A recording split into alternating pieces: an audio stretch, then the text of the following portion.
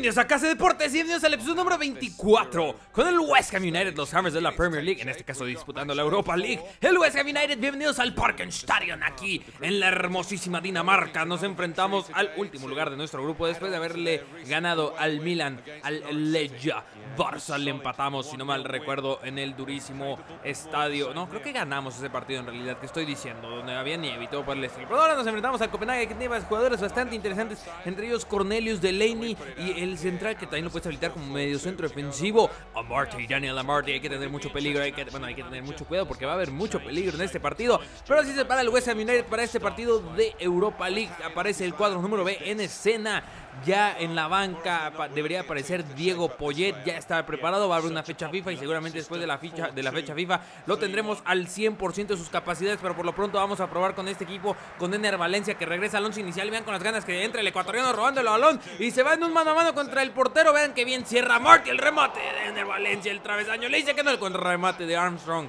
Valencia se quiso comer el pastel, solo metió un cañonazo y el travesaño le dijo que no Ener Valencia, un poco botado de su posición. Y ven aquí la jugada que estamos preparando. El balón llega a los pies de Brandon Barker, que está teniendo muy buena temporada. El centro preciso para Choiku Cuyate. Gol de Cuyate. Lele, youtuberos, regresen.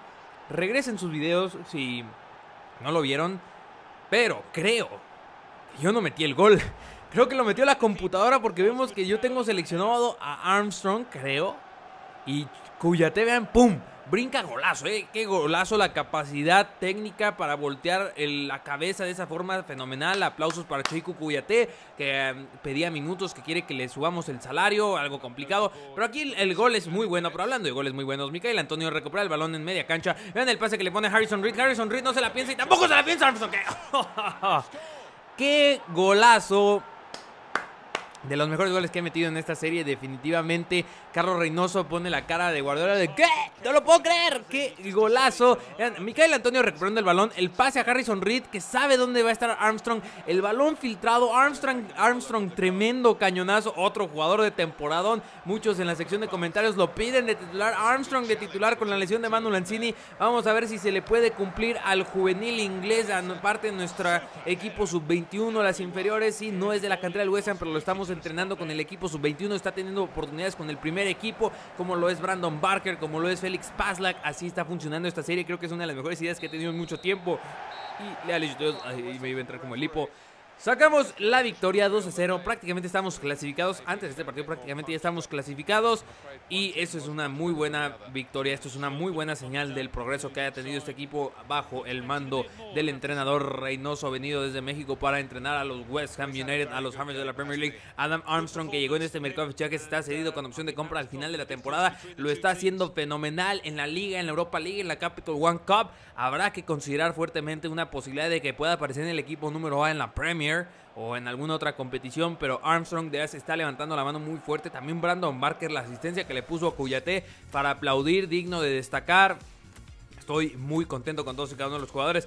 Valencia me hubiera gustado que anotara el gol que tuvo, pero pues bueno, ahora nos vamos a ir al entrenamiento hablando de las inferiores del equipo sub-21. Vean, aquí estamos trabajando con ellos, con el primer equipo, obviamente aquí unas jugadas de 2 contra 3, 3 contra 2, 1 contra 1, un poco de ofensiva, de generación ofensiva, que es algo que siempre buscamos. Aquí, por ejemplo, contragolpes con Saido Veraino participando con Armstrong. Vean ahí, Veraino me falla un poco, pero también tenemos a grandes defensas como lo son Mark Bartra y Winston Reed, el arquerazo por eso somos la mejor defensa del torneo. No somos la mejor ofensiva por obvias razones aún, pero obviamente estamos trabajando en ello y aquí estamos trabajando en los jóvenes. En el otro que pidieron que trabajáramos era Brandon Barker, aquí trabajando con posiblemente nuestros mejores pasadores, los mejores mediocampistas que tenemos en el equipo, Mark Noble y Dimitri Payet, ante la ausencia de Manu Lanzini, obviamente durísimo golpe, que ya estamos aprendiendo a vivir sin él, espero que lo logremos. Ven aquí Brandon Barker, Payet, Noble, luciéndose un poco, pobre, creo que es Mark Bartra el que le tocó intentar quitar el balón, ¿no? Aquí eh, es un muy buen entrenamiento de Torito. Aquí dicen el rondo. Este es un Torito, Todos ustedes que juegan fútbol lo saben. Y aquí están los demás resultados del equipo sub-21 que seguimos entrenando. Diego Poyet, que ya regresa oficialmente a los entrenamientos. Harrison Reed y Félix Paslak. Muchos de estos jugadores, bueno, si no es que todos estos jugadores, son gran apuesta al futuro de Reynoso y de este equipo Brandon Barker. Muy pronto vamos a tener que tomar la determinación si se queda o no. En la sección de comentarios la gran mayoría dijo que no lo quedemos. Así que probablemente eso suceda y probablemente nos vamos a enfrentar a un equipo que siempre se le indigesta a Reynoso, sea de visitante o de local. En este caso de local en Bowling Ground, Upton Park, Stoke City, The Potters. Un equipo que, repito, se me complica demasiado. Tiene jugadores bastante interesantes en la realidad en el videojuego. Arnautovic, Boyan, Afelay, que está lesionado si no me equivoco. Mame Diouf. Eh, Ireland. Tiene jugadores muy buenos. El arquero Jack Butland, que es uno de mis arqueros jóvenes preferidos en la actualidad. Que echen un ojo a las actuaciones que está regalando, que ya lo llevaron a la selección mayor. Atentos con Jack Butland. Y vean aquí el mejor equipo defensivo detrás, ¿no? Igualado con el Arsenal, que es el otro puntero de la liga, como ya lo podían ver. Estamos West Ham, Arsenal, Chelsea, tres equipos ingleses, después el Manchester City, a, tres, a dos de esos equipos, de esos tres equipos, perdón, que mencionaba, no los atendimos, les ganamos y ahora este es el 11 de lujo con Iñaki Williams en el 11 inicial ante la ausencia, ante la lesión de Manu Lanzini. Vamos a ver si podemos sacar este resultado con el Stoke City, vamos a ver si podemos romper esa indigestión, vean el hermoso público cantando en Bowling Ground, el Forever Blowing Bubbles, imagínense las burbujas soplando por doquier. Ahí están los jugadores que les decíamos, Sheridan Shakiri, obviamente es un jugador que está quedando mucho a deber, ¿no? Está, no sé qué está haciendo con Sheridan Shakiri en la banca. Charlie Austin, ¿para qué lo ficharon? Nos vamos a las primeras jugadas del partido. Este es Mark Noble controlando el balón, apertura, dándole apertura a la cancha. Sebastián Corcha, vean el pase que le pone Iñaki Williams, fenomenal. ¿Qué va a hacer Iñaki Williams? Le pone el pase, se ha ido Veraino, pero en el fondo Jack Butland, fenomenal, el arquero juvenil que alguna vez lo tuviéramos en el canal, en el modo carrera con el Everton. Ven aquí la jugada de equipo que prepara el Stoke City con Mame Dios, que yo pensaba que ese balón se había metido, pero no, es la ilusión óptica. Adrián solo se aventó para la fotografía, haciendo que obviamente viera más espectacular. Aquí nos salvamos por poco el Stoke City queriendo anotar el partido, queriendo dar la sorpresa ante el puntero. Aaron Creswell se asocia con Torren Hazard, una de nuestras mejores. Las dos bandas estamos muy bien, que estoy diciendo. Creswell con el balón se quita la barrida, le pone el pase a Dimitri Payet, que no es el mejor dando remates de cabeza. Aquí probó y por poco anotábamos el gol de la victoria. Muy complicado partido, muy complicado. Y bueno, muy complicado quiere decir muy atorado en media cancha. Mucho, mucha falta, mucho no lo sé. Bueno, no, en realidad no hubo mucha falta. Más bien simplemente fue un partido ríspido donde Iñaki Williams intentó hacer jugadas fenomenales como estas. Vean aquí cómo está llegando a línea de fondo. Va a buscar el centro para Saido Veraino. Jack Botland rebota. Y al rebote le cae a Saido Veraino. Intentó rematar y Jack Botland le sonríe la diosa fortuna. 0 a 0 en el marcador. Al final de cuentas no recibimos gol, que eso nos ayuda a nuestra estadística de ser el mejor equipo en la mejor defensa. No, no recibimos goles, pero cuando no recibes goles y no anotas, no es un buen resultado, hay que admitirlo, hay que trabajar en la semana con el equipo sub-21 en los entrenamientos. Ahí va Creswell que está teniendo una muy buena temporada, hay que admitirlo.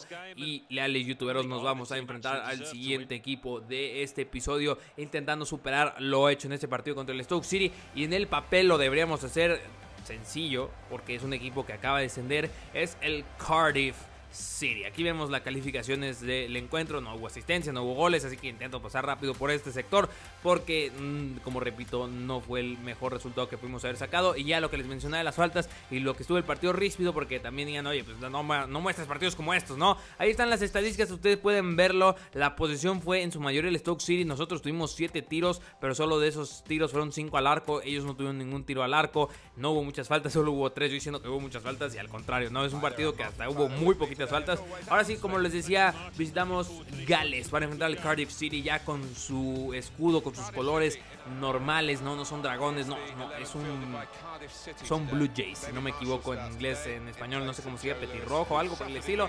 Pero bueno, vemos que tienen jugadores bastante interesantes. Escucharon a Jake Livermore, tienen a, Jake Livermore, por favor habla bien. Tienen a Ben Marshall, que es un muy buen portero de Cuele Manga, Craig Noon. Tienen jugadores que de verdad hay que tenerles muy bien marcados. Y vean, ustedes lo pidieron y yo les concedo.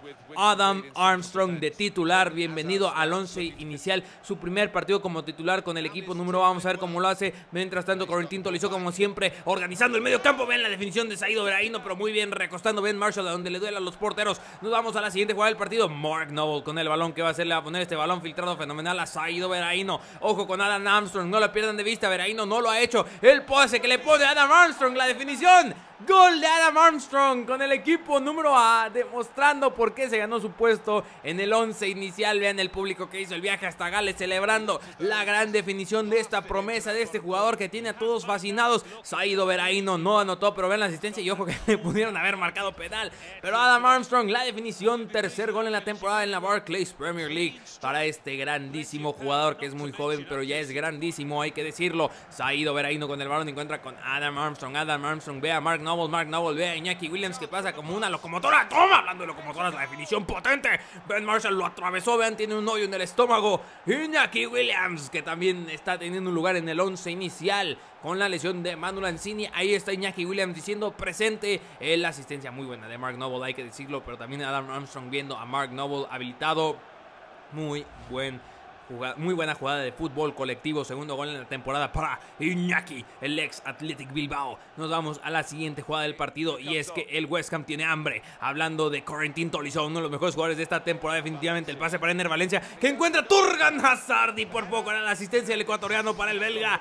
Qué gran jugada estábamos organizando, qué fútbol me está manejando el West Ham United, no por nada, son los punteros. Y ahora Leal Studios hay hambre de revancha. Diego Poyet que regrese su lesión encuentra a Ener Valencia. Valencia en un mano a mano. Pero ojo que hubo un desvío del balón. Ener Valencia decide asistir a Torgan Hazard. Gol de Torgan Hazard. Y wow, wow, wow. Se van a estar preguntando, Carlos, ¿por qué no definiste con Ener Valencia? ¿Por qué hiciste eso? Y yo tengo una razón muy, muy sencilla. Y yo creo que más de la mayoría lo va a entender. Aquí ven el pase Poyet. Que me hubiera encantado que la asistencia fuera para Poyet. Pero hubo un desvío del defensa. Ante el desvío del defensa dije, wow, yo quiero que haya una asistencia. No que haya gol y asistencia. Porque han notado muchos goles sin asistencia. Y es una estadística que queremos cubrir. Que es muy importante. Y dije, pues vamos a darle la asistencia a Ener Valencia y el gol a Torgan Hazard. Ese desvío, sí o no, si lo hubieran contabilizado, no hubiera habido asistencia para Poyet. Que hubiera sido fenomenal que regrese a su lesión. Y toma asistencia me hubiera encantado. Saben que Poyet es uno de los grandes jugadores. Eh, de los jugadores jóvenes a los que le estoy apostando en esta serie, que me gusta muchísimo en la realidad y en el juego. Y, al ver ese desvío dije, ¿sabes qué? No me la voy a jugar para que no cuenten la asistencia y después les mostrara, miren, no hubo asistencia y estuviera todo enojado. Dale youtuberos, eso es Toño por este video, muchas gracias, ya saben qué hacer, si les gustó los likes siempre son bien recibidos en los comentarios intentan ser contestados. No olviden seguirme en mis redes sociales, en Twitter y en Facebook para estar enterados de toda la actividad del canal y poder contactarme de forma más directa. No olviden comer frutas y verduras, vemos.